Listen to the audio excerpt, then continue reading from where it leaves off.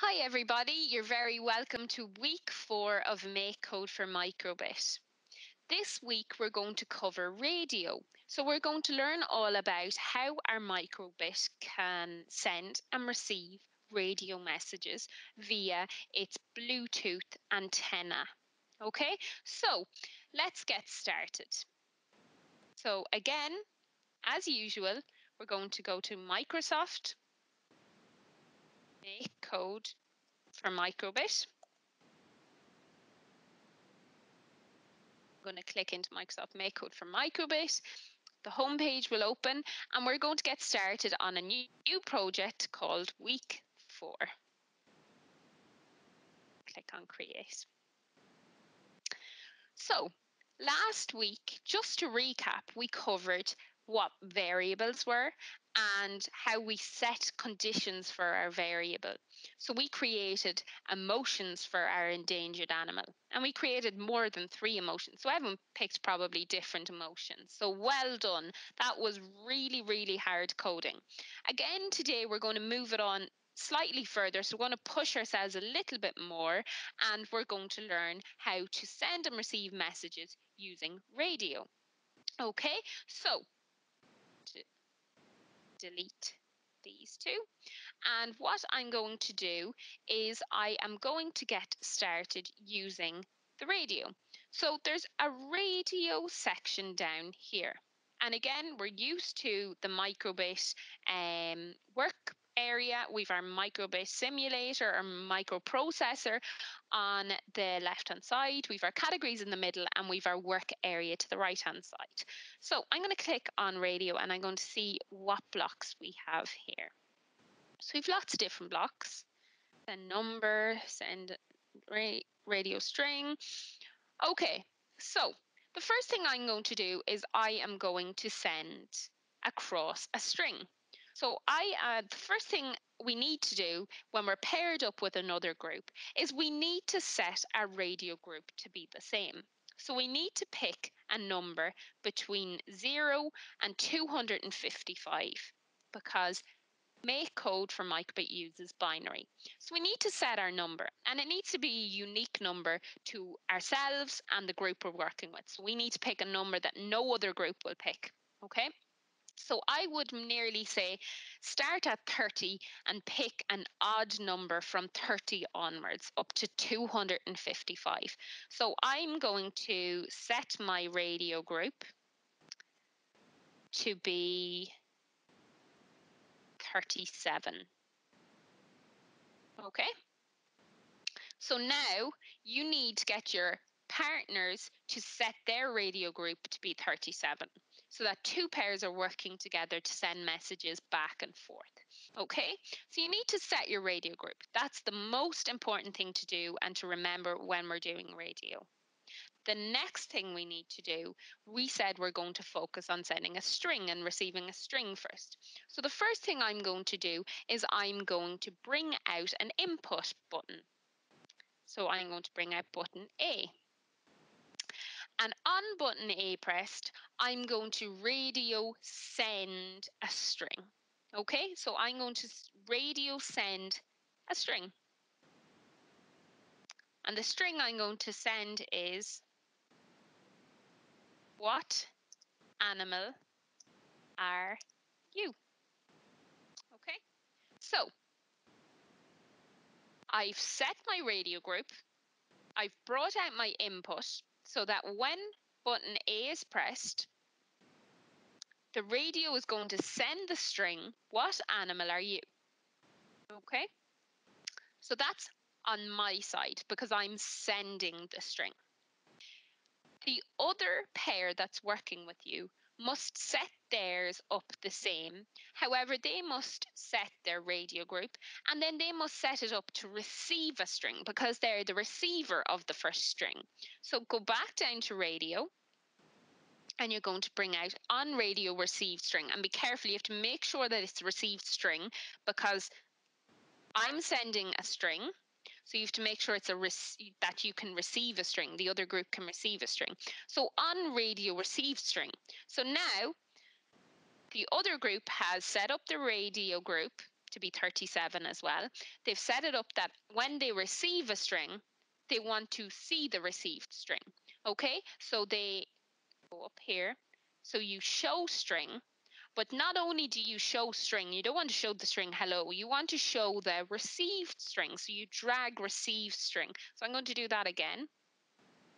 I'm going to bring this out and throw it in the bin. You're going to click on the receive string and you're going to drag it down and it'll duplicate.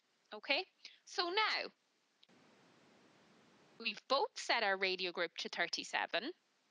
I'm the sender, which is the top micro:bit. So when I press button A, my string, what animal are you, is going to get sent. So it's not going to show on my micro:bit.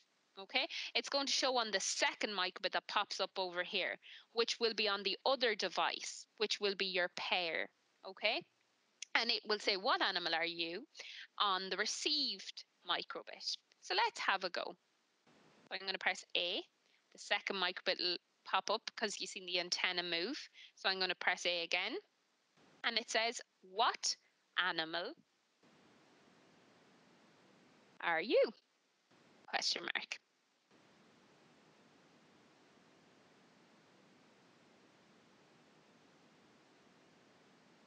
So that's how we send a string. And then to send one back, you would change it that you're the sender and you can reply, I am a hawksbill turtle. And then you can go back and forth and interview the other pair. So you're going to be working in two pairs. One pair is going to send the first string. And once they've sent the first string, then the other pair is going to receive it and they're going to send one back saying, I am a hawksbill turtle what animal are you? And then you're going to start up an interview asking each other questions about the endangered animal you have chosen. Okay, so that's how you can send words or letters or or a string. But what if you wanted to find out what population there is left in the wild of the other group's animal? Well, then you'd need to send a number. So that's ever so slightly different. So I'm going to show you how to do that. So instead, I'm going to take out on button B pressed and I'm going to change it from A to B quickly. And now, instead of sending radio send string, I'm going to radio send number. So I'm going to make sure that I'm sending a number this time.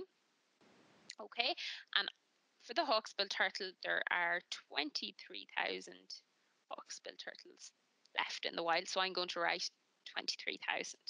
Okay, so now I'm going to, when I press B, send this number across to the other group. But the other group won't receive anything because they are only set up to receive a string. So they need to remember to change it that they can receive a number also. So I'm going to bring out on radio received number. And then I'm going to bring out show number. Make sure and put it in here. So on radio received number and then I want to sh show the received number, not show any number. I want to show the received number that the other group has sent across. So now, if I press B, the other micro:bit will pop up. You'll see the antenna move and click B again and it'll say 23,000. Okay? So that's how radio works. The first step is you need to set both groups up on the same radio group. So pick a random number between 0 and 255 and hopefully no one else in your class will pick the same number. And then you will be tuned in to the same radio group as the group beside you. Okay, once you've agreed on a number, then you agree who's going to send the first message. So one group is going to be the sender for the first message, and they need to bring out the button input and they need to bring out the send string or send number in block. Okay, the other group is then the receiver. So they're going to receive the first question. Okay, so they're going to have to make sure that they have the received block out and that they're showing a string or showing a number, but not just any string or number. They're showing the received string and the received number. Okay, and then when they get the question in and they want to reply with an answer, then they're going to be the sender and the other group is going to be the receiver. So it's going to flip it over on its head. So it means that you're going to be sending messages back and forth between each other. Okay, so what's your animal? I'm a hawksbill turtle. How many hawksbill turtles are there in the wild? There are 23,000. What's your animal? I'm um, a polar bear. How many polar bears are there left in the wild? Etc. So base it around the research you've conducted on your chosen endangered animal. So now, without further delay, I want you to get started. Um, your teacher is going to pair you up with another group and then compile some questions that you want to use in the interview of the other group and get started using the radio feature. That's all for me for this week. Looking forward to seeing you next week. Bye.